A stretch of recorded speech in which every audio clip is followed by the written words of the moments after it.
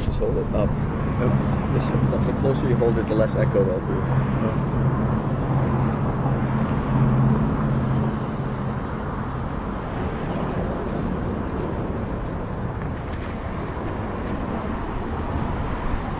الحمد لله الحمد لله الذي هدى الحمد لله الذي هدانا لهذا وما كنا لنهتدي لولا أن هدانا الله.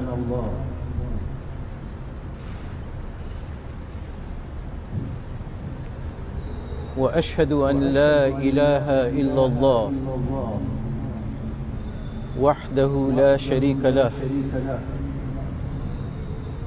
له الحمد. وله الملك. يحيي ويميت بيده الخير وهو على كل شيء قدير.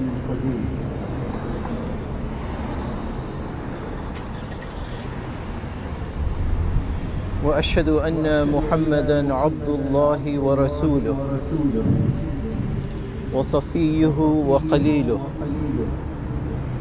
أرسله الله للناس نذيرا وبشيرا. من يطع الله ورسوله وأولي الأمر من المؤمنين فقد رشد. ومن يعص الله ورسوله وأولي الأمر من المؤمنين فقد ضل ضلالا بعيدا. أوصيكم ونفسي اولا بتقوى الله وطاعته وأحذركم من عصيانه ومخالفة أمره. أما بعد فإن خير الحديث كتاب الله وأحسن الهدي هدي محمد. وشر الأمور محدثاتها وكل محدثة بدعة وكل بدعة ضلالة وكل ضلالة في النار. يقول الله عز وجل وهو أصدق القائلين في كتابه الكريم. إن الله يأمركم أن تؤدوا الأمانات إلى أهلها وإذا حكمتم بين الناس أن تحكموا بالعدل. إن الله نعم ما يعظكم به. إن الله كان سميعا بصيرا. يا أيها الذين آمنوا أطيعوا الله وأطيعوا الرسول وأولي الأمر منكم. وإن تنازعتم في شيء فردوه إلى الله والرسول. إن كنتم مؤمنين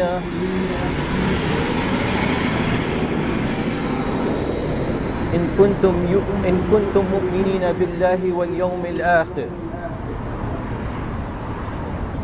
ذلك خير وأحسن تأويلا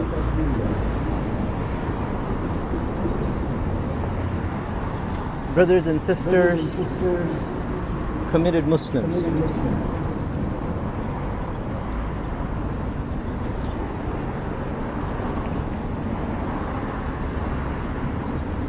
to continue on with the subject of last week's talk,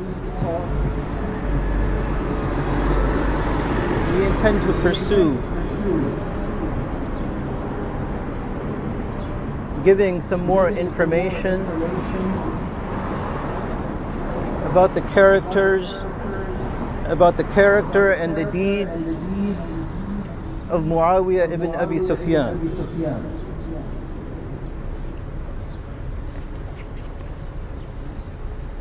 we want to get a better idea of the kind of person he was he was. and the kind of things that he did. For it was the Muawiyah precedent that is being used today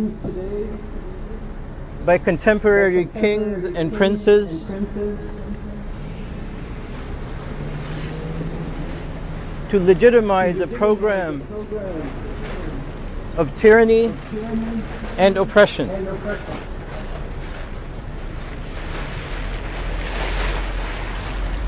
The first step that they take is to erroneously characterize him as a Sahabi. And then the next step is that they say that the actions of those who lived in the first two or three generations after Allah's Prophet alayhi wa alihi salatu wassalam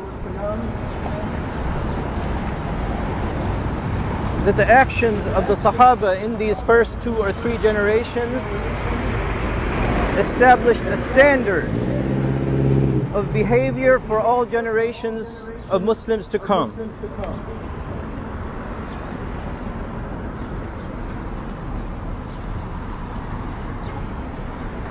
And so, before we get into his specific actions and policies,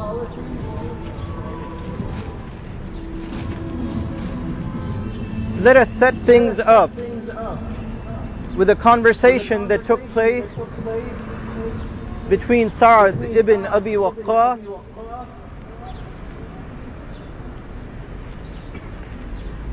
and Walid ibn Uqba.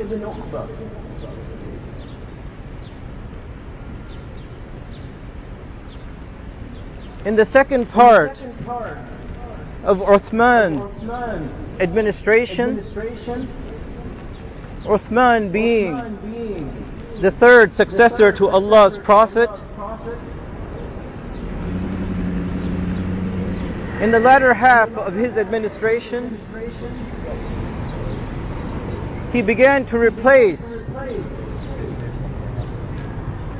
key political figures in the Islamic State with members of his own family. One of these key figures happened to be the governor of Al Kufa. And obviously, I'm referring to Sa'd ibn Abi Waqqas.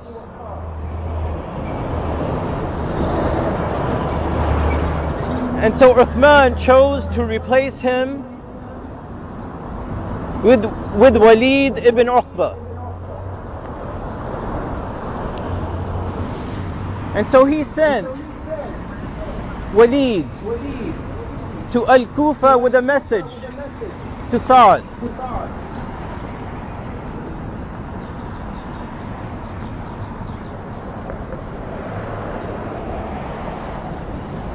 And the content of this message was that Sa'd would be relieved of his governorship in Kufa and that he would be replaced by Walid.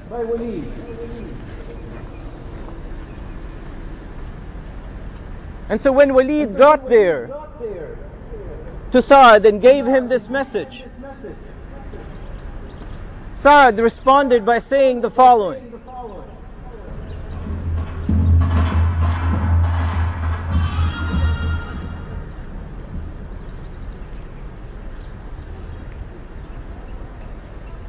I don't know if you have gotten a lot smarter and whether we have gotten a lot stupider. And so this and to this Walid responded by saying Do not be angry, Abu Ishaq.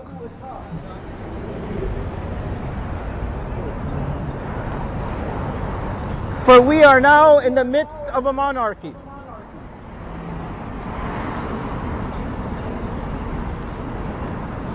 In the morning, someone will assume the position of authority, and in the evening, it'll be someone else. And so to, so to this, Saad responded by saying,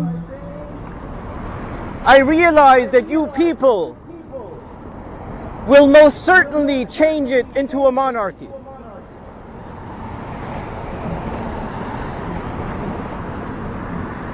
And so when Saad said, you people, he was obviously referring to Bani Umayyah.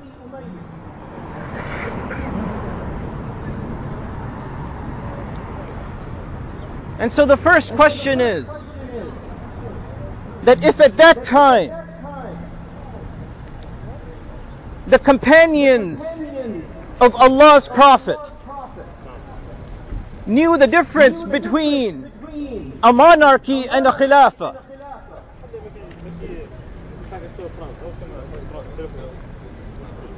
and they were the standard bearers of all generations of Muslims to come then why is it today that we have a, such a hard time distinguishing between a monarchy and a khilafah?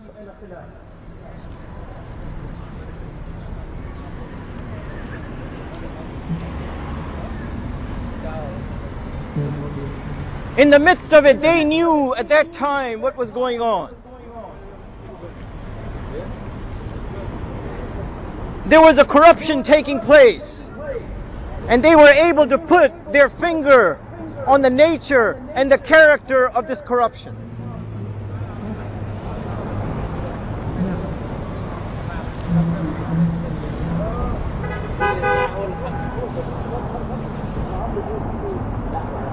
And so this was a portent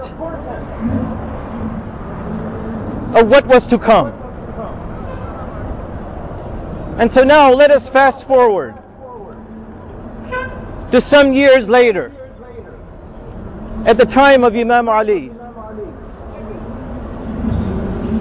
when he had just been popularly designated as the Imam, the Amir al-Mu'mineen of all of the Muslims.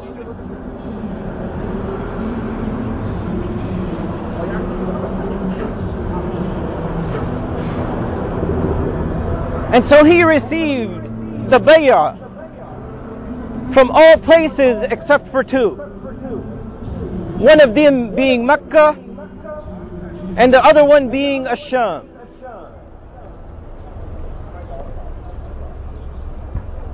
And as far as the governor of Asham was concerned,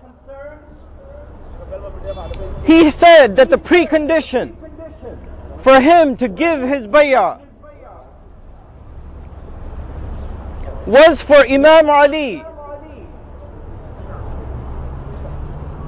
to extradite the killers of Uthman to Asham so that the governor of Asham could kill them. And that unless he did that, there would be no bay'ah coming from Asham.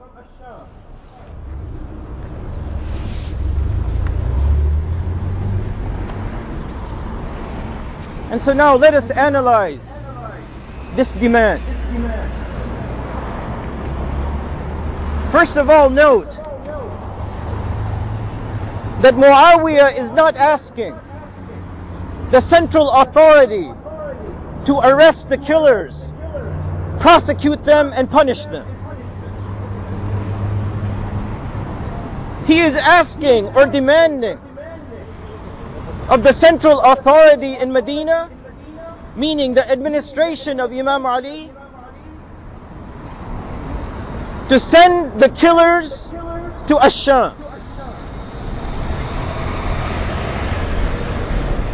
Now, the murder of Uthman was a crime against the Muslim people, a crime against the state. And so it falls within the jurisdiction of the central authority of the state to prosecute the killers. This is not in the domain of any particular governorship of the Islamic State.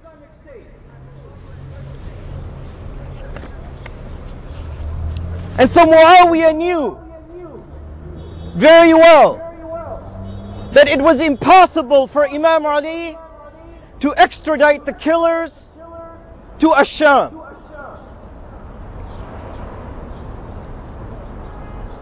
And because he was certain that that would never take place, what was lurking in the back of his mind is that he never intended to give the bay'ah.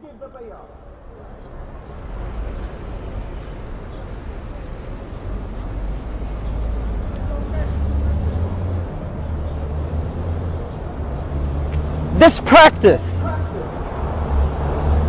of a tribal authority seeking vengeance or seeking a blood vengeance. It was a practice that was ended by Allah's Prophet. It was a practice that was not continued by the first three successors to Allah's Prophet. And nor was it a practice that was endorsed by Imam Ali.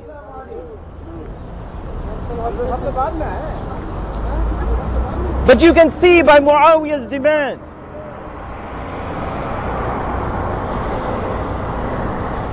that he did not care. He did not have any fealty towards prosecuting a crime according to the method of Allah's Prophet and according to the methodology of the revelation that he got from Allah.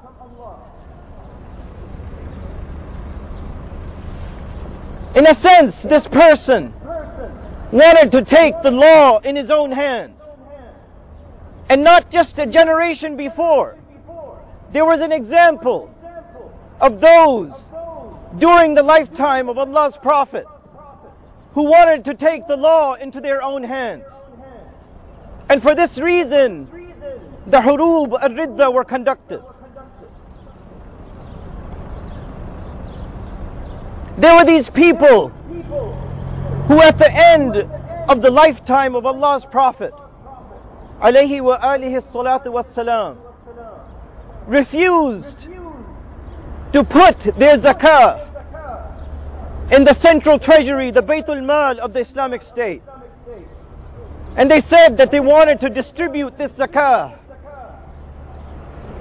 by themselves in their own territory. However, Allah's Prophet and his first successor, Abu Bakr, would have none of this.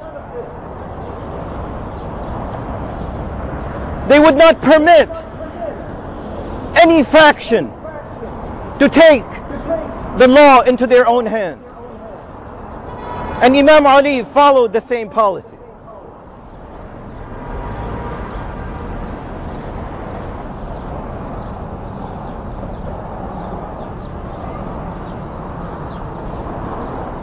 In the 25th year of the Hijrah,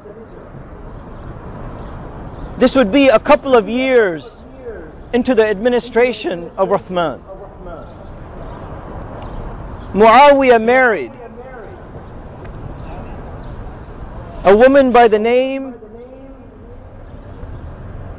of Maysoon bint Baj Maysoon bint Bajdal al-Kulaybi.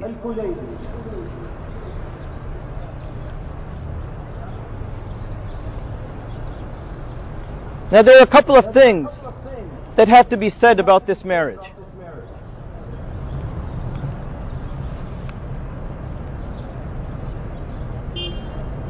First of all, this woman was the mother of Yazid.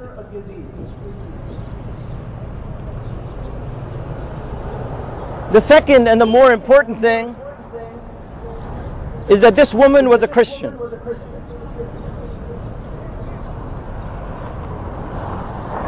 And in all the sources of Islamic historical information, there is not one citation that suggests that this woman ever accepted Islam. In fact, after the marriage took place, she went back to her tribe, Bani Kulayb.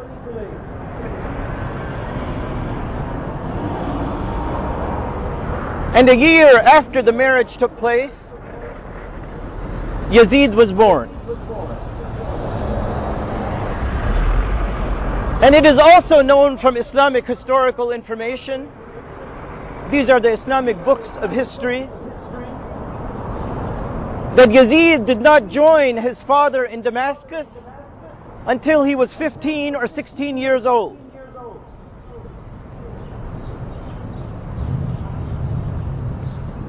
And so this suggests that until he was to the age of 15 or 16, he spent that time with his mother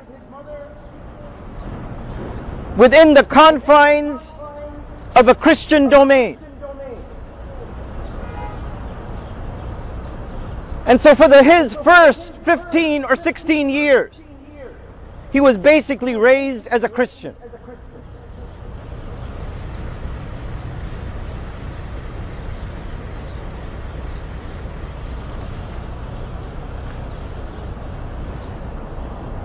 Now this enters into a sensitive area.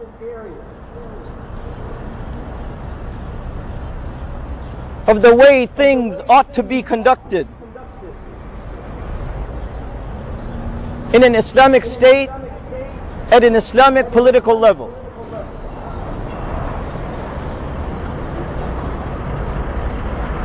And so the question here is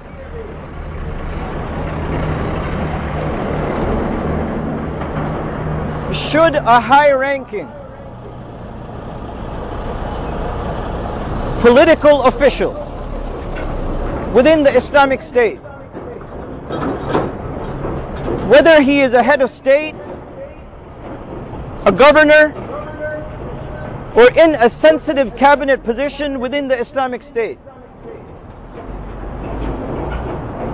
should that official be allowed to marry a non-Muslim.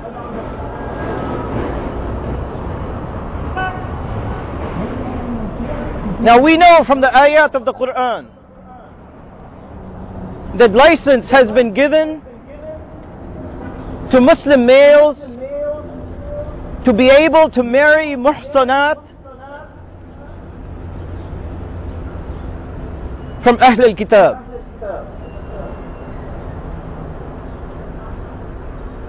Muhsanat literally are fortified women, morally pure women. And so license has been given to Muslim males to marry muhsanat from Ahlul Kitab. But at the same time, Allah says, يا أيها الذين آمنوا لا تتخذوا اليهود والنصارى أولياء. بعضهم أولياء بعض. فمن يتولهم منكم فإنه منهم. إن الله لا يهدي القوم الظالمين. O you who are securely committed to Allah, do not take political Jews and political Christians as your sponsors, your allies, and your confidants. Okay, so now we ask the question.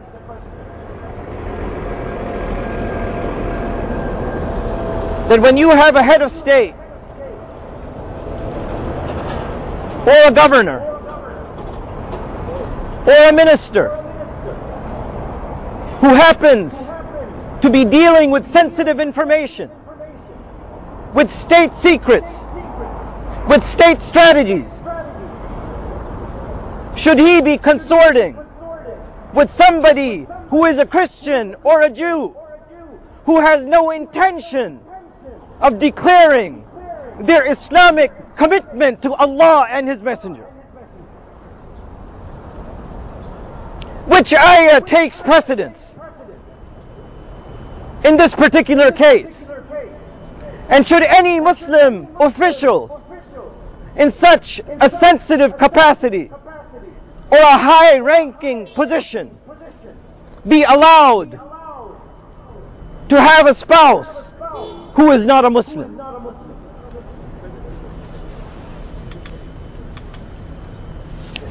And yet this has been happening in our history and the first king in Muslim history, in a sense, legalized, and in another sense, legitimized such practices.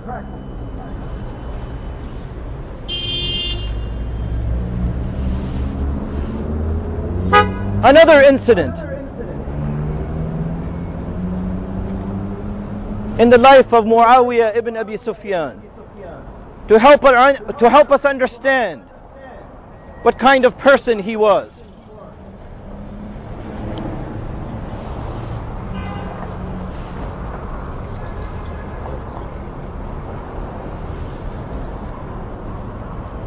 In his last few years, and he ruled for 20 years as the first king in Muslim history.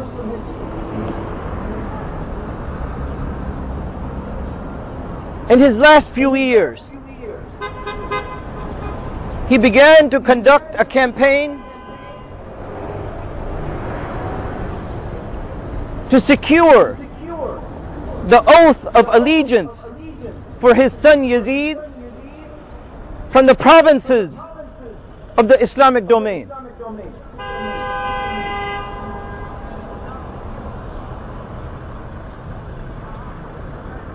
And specifically as far as Al Kufa is concerned.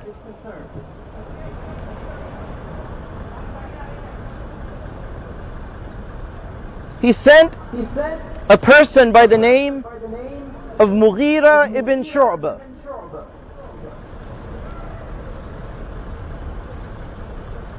to Al Kufa to see if he could collect a set of influential people who would give the oath of allegiance to Yazid after the death of his father Muawiyah.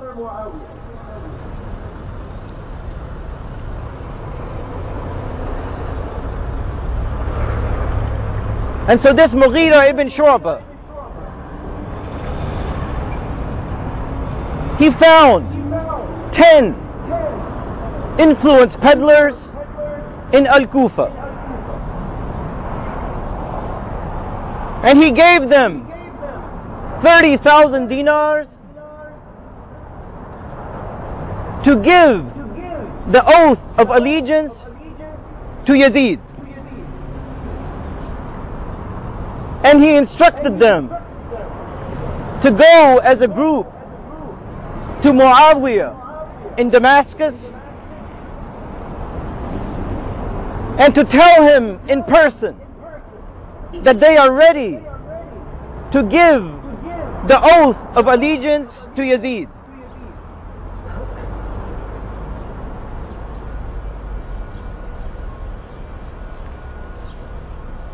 Now let us understand what's going on here. When Mughira focused on these 10 people,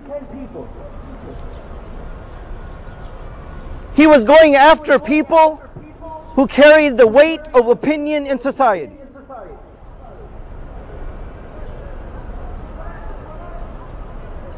So that if these 10 give their oath of allegiance,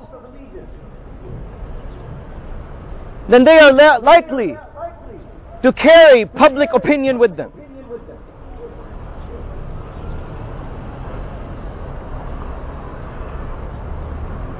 In a sense, you could say that these ten were the media personalities of the day.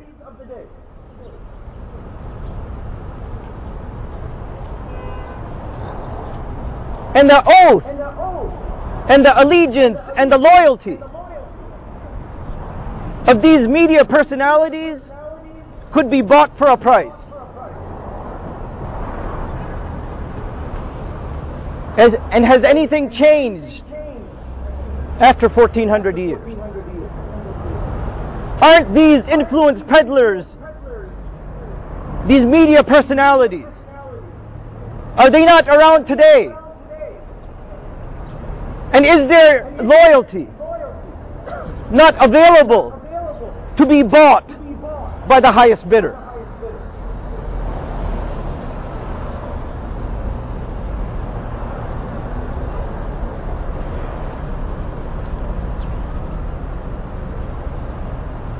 The second thing, when these ten went to Damascus, and they stood in front of Muawiyah and gave their oath of allegiance to Yazid. Muawiyah asked the head of the delegation, How much money did Mughira give to you?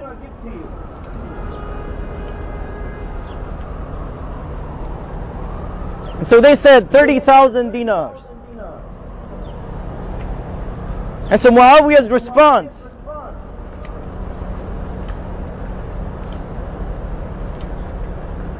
Your oath of allegiance can be bought very cheaply.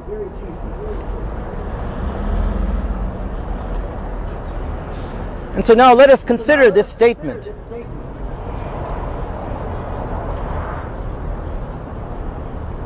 First of all, what does it mean in today's economics to give 30,000 dinars? What is 30,000 dinars equivalent to in today's dollars? Just so that we can understand what's going on here.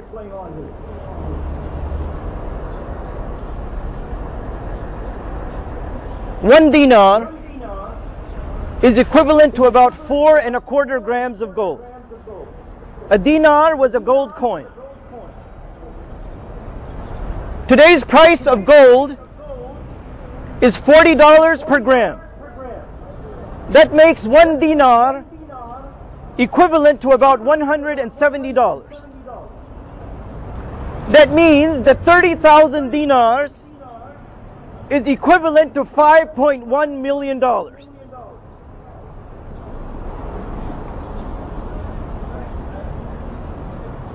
And Muawiyah is saying, We bought your loyalty very cheaply, meaning that he could have given a lot more. And it is not clear by the wording in Islamic historical sources whether these 30,000 dinars were given to the aggregate of 10 or whether 30,000 dinars was given to each of them separately.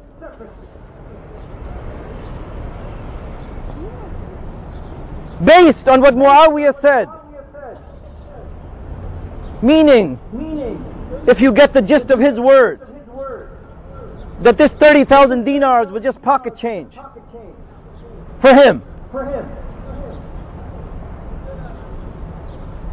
It is more likely that he gave 30,000 dinars to each of these 10, suggesting that he paid a bribe of $50 million to buy the loyalty of the opinion makers in Al Kufa. And this was just one province. There was Egypt, there was Al Basra, there was the peninsula, and there were other provinces. He even offered 100,000 dirhams to Abdullah ibn Umar in Al Medina. But he refused.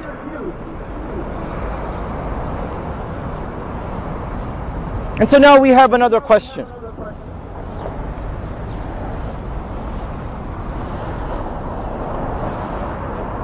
How does a public servant, regardless of how long he has been in that capacity, acquire this kind of wealth?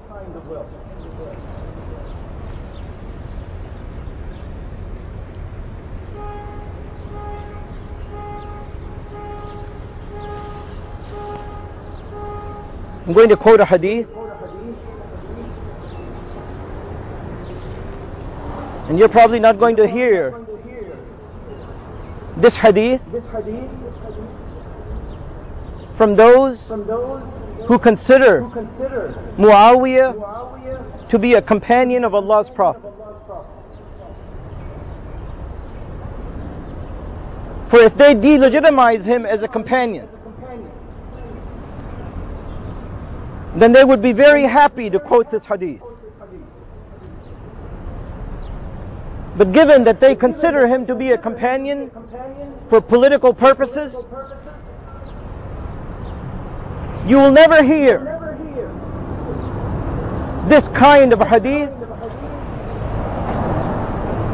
quoted from the minbars and the pulpits of those masjids.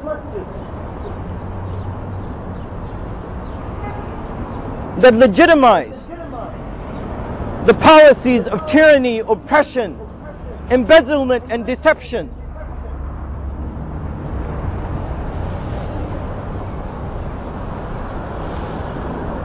This hadith, it appears in both Al Bukhari and Muslim. And it goes as follows I'll read the Arabic first, then I'll translate into English. ما من وال يلي رعية من المسلمين فيموت وهو فيموت وهو غاش لهم إلا حرم الله عليه الجنة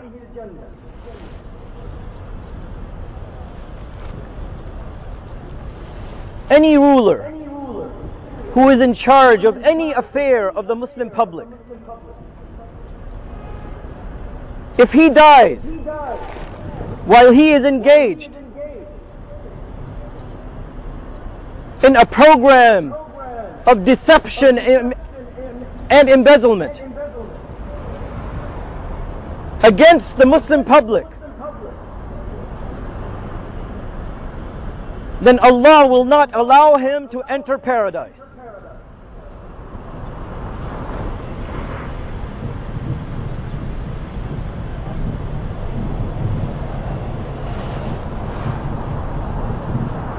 And so today, if we look in the world around,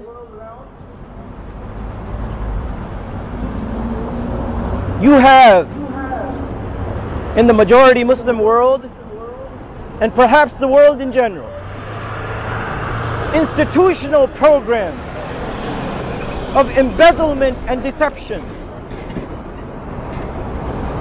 by those who claim leadership status in the world.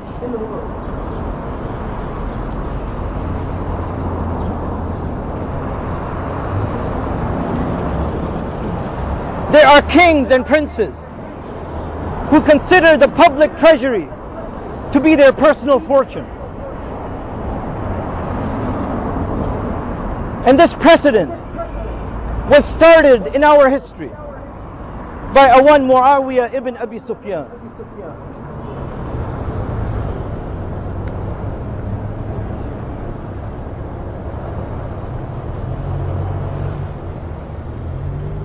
And so we asked just a second ago, how is it possible for a public servant to build up this kind of wealth? Well, there's an answer in what he did.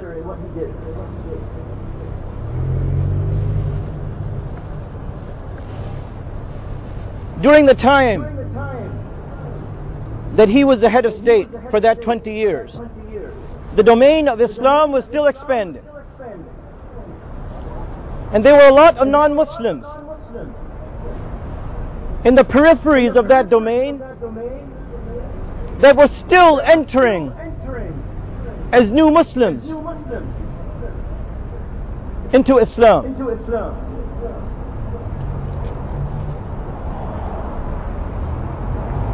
And so there was a jihad that was a continuous feature of that 20 years. And so with jihad, as the Muslims were gaining victory after victory, there was the anfal, the spoils of war that were accompanying every victory.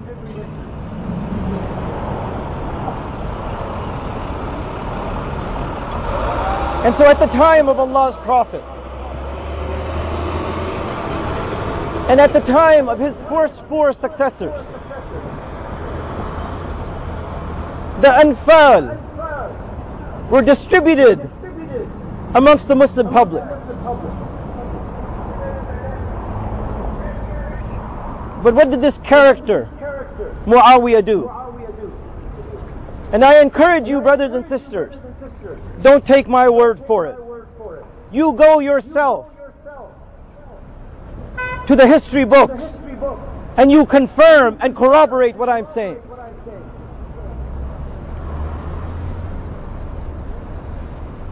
I'm just not pulling this out of a hat. All of this information is in most, if not all, of the mainstream Islamic history books.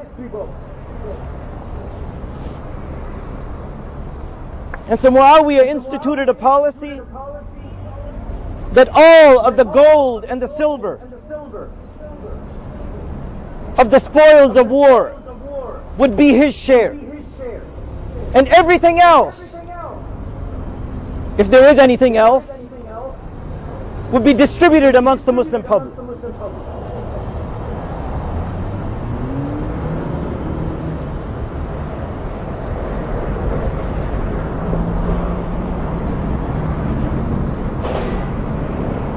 There were a lot of non-Muslims who were entering into the Islamic domain. Some of them chose to enter into a treaty arrangement with the Islamic State. Meaning that they decided to accept the protection of the Islamic State but not to become Muslims. In which case they had to pay the jizya. In the other case, there were those who decided to become Muslims and become full-fledged citizens of the Islamic State.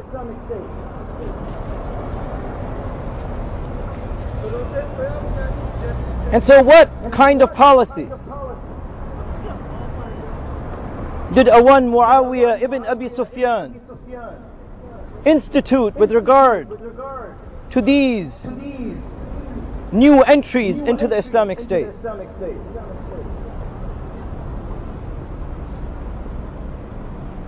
He continued to levy the jizya on those who became Muslims. And there is a very clear statement from Allah's Prophet.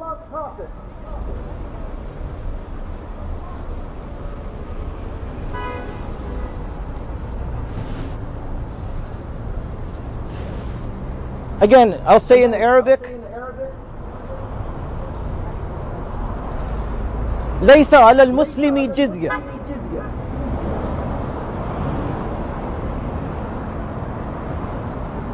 You cannot levy jizya upon a Muslim.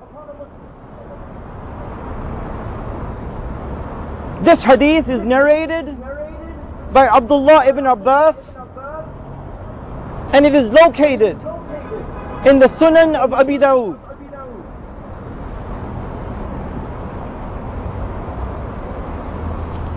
And so here we have a policy which is in clear violation of the social law practiced by Allah's Prophet. A direct opposite, a direct contradiction, an interdiction of Allah's Prophet.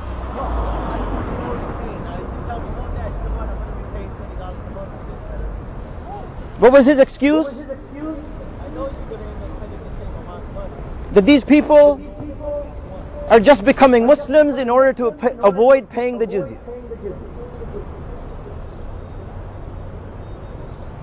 And so that to that we say, so what? So what?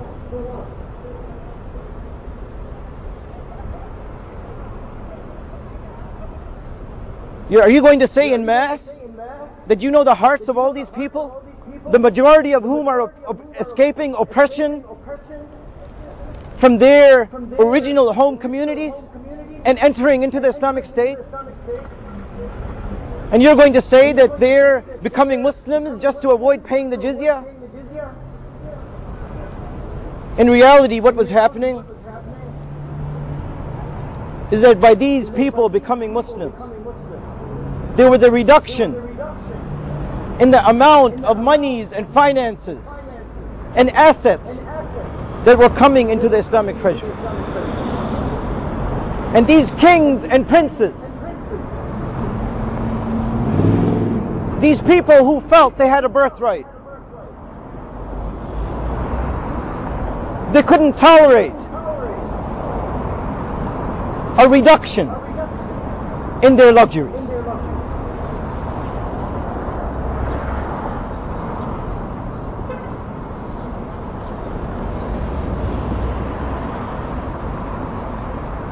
And in this regard, his administration actually prevented a lot of people from becoming Muslims so that they could continue paying the jizya.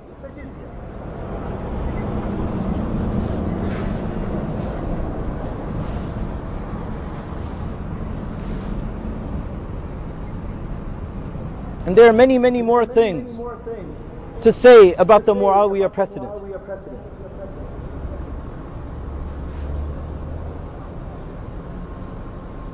I don't know if there is enough time to cover every single violation of Allah's words and the social commitment of His Prophet.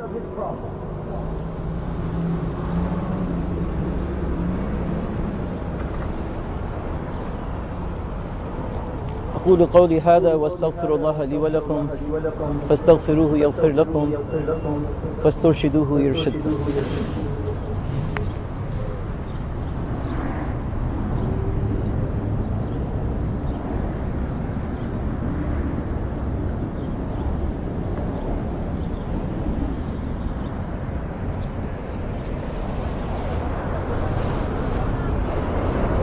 الحمد لله والصلاة والسلام على رسول الله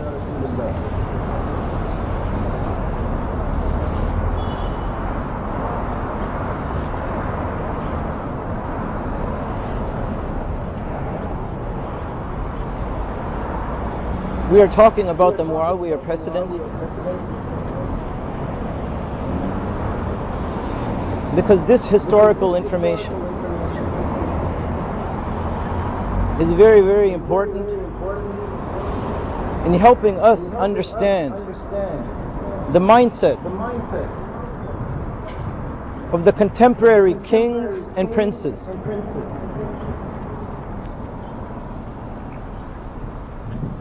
Who are oppressing, tyrannizing, and terrorizing majority Muslim populations.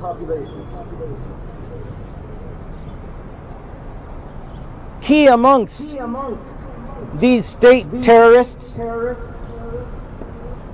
and tyrants is the regime in Arabia.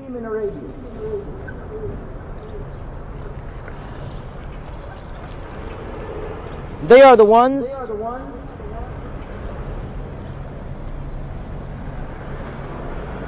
who have no qualms about using Islamic historical information, Islamic theological information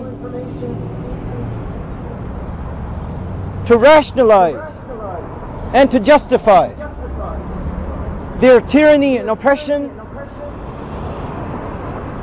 as if such behavior is grounded in Islamic sources.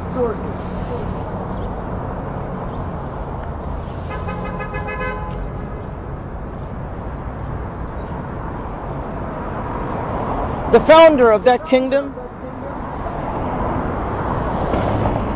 Abdul Aziz ibn Abdul Rahman al Saud, He was a patron of British colonialism. And it was that patronage relationship that established that ugly and dysfunctional kingdom.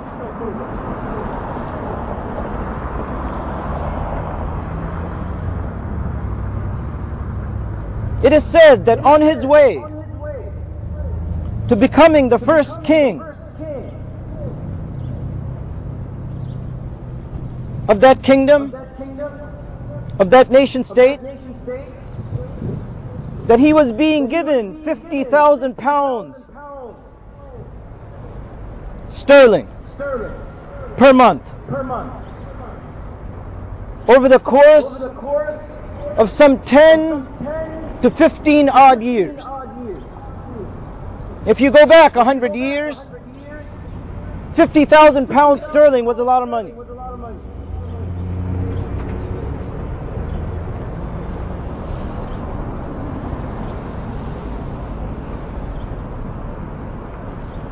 And so British colonialism gave him money, a wealth of arms, and the wealth of military intelligence to occupy the entire peninsula. And the practice of this Abdul Aziz was to go into a particular territory and kill the heads of the tribes whose territory he was occupying. And in order to consolidate his position, he would marry into the family of the defeated tribal chiefs.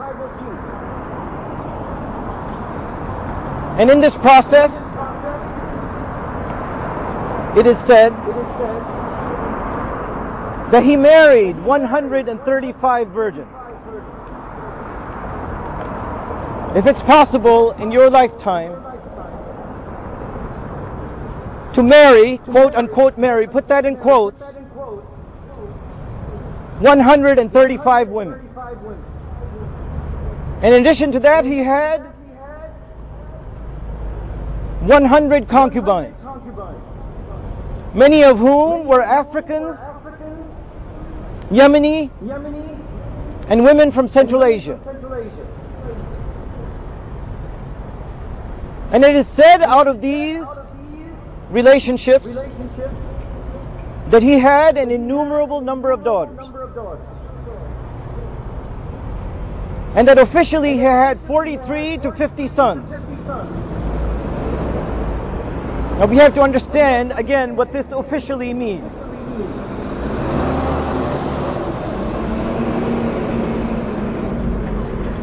For within Saudi exceptionalism and racism, any son born to what they consider to be a non Arab, that means to what they consider to be lesser races, like the Africans or the Yemenis or the women from Central Asia, that these were considered to be quote unquote lesser sons. And again, he had an innumerable number of lesser sons.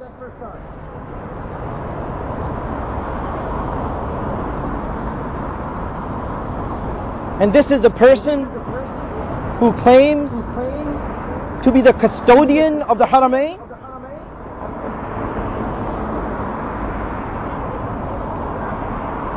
And this is the person whose progeny represent themselves as the custodians of the Haramain. Eh?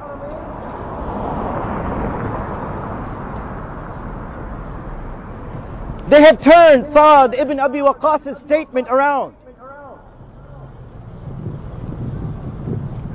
They take a look at the world's Muslim public.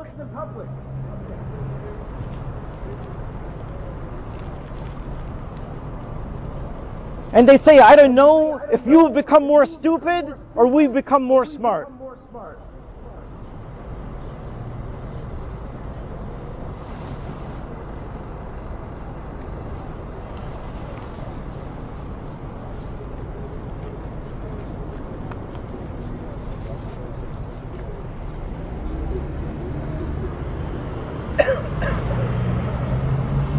إن الله يأمركم أن تؤدوا الأمانات إلى أهلها وإذا حكمتم بين الناس أن تحكموا بالعدل إن الله نعم ما يعظكم به إن الله كان سميعا بصيرا Allah commands you. It is an imperative. You don't have a choice in the matter. That when you designate people in decision making positions, that you ought to choose people who are capable of performing that function.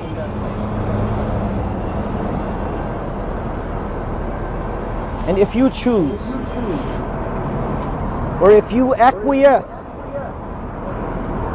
to those who are incapable, then prepare yourselves for a condition that you are not going to be able to tolerate and a condition where you are going to suffer pain and punishment.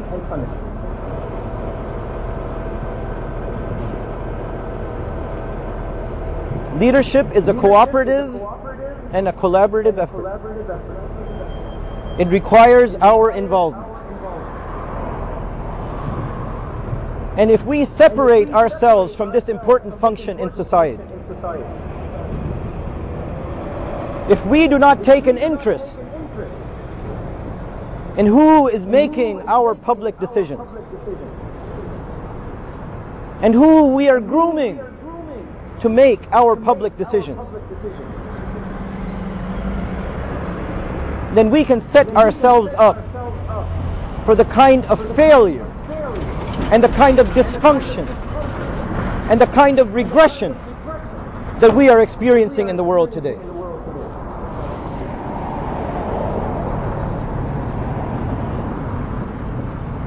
اللهم أرنا الحق حقا وارزقنا اتباعه وأرنا الباطل باطلا وارزقنا اجتنابه اللهم اغفر للمؤمنين والمؤمنات والمسلمين والمسلمات الأحياء منهم والأموات. إنك قريب سميع مجيب الدعوات. اللهم ربنا آتنا في الدنيا حسنة وفي الآخرة حسنة وقنا عذاب النار. ربنا لا تزغ قلوبنا بعد إذ هديتنا وهب لنا من لدنك رحمة إنك أنت الوهاب. إن الله وملائكته يصلون على النبي. يا أيها الذين آمنوا صلوا عليه وسلموا تسليما. اللهم صل على محمد وعلى آل محمد كما صليت على إبراهيم وعلى آل إبراهيم. إنك سميع مجيد. اللهم بارك على محمد وعلى آل محمد كما باركت على إبراهيم وعلى آل إبراهيم. إنك سميع مجيد.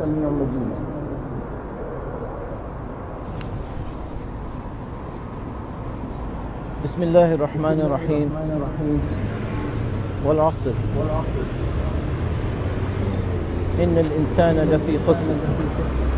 إلا الذين آمنوا وعملوا الصالحات وتواصوا بالحق وتواصوا بالصبر. ومن أظلم ممن منع مساجد الله أن يذكر فيها اسمه وسعى في خرابها. أولئك ما كان لهم أن يدخلوها إلا خائفين. لهم في الدنيا خزي. ولهم في الآخرة عذاب عظيم. عباد الله إن الله يأمر بالعدل والإحسان وإيتاء ذي القربى وينهى عن الفحشاء والمنكر والبغي. يعظكم لعلكم تذكرون ولذكر الله أكبر. والله يعلم ما تصنعون وأقم الصلاة.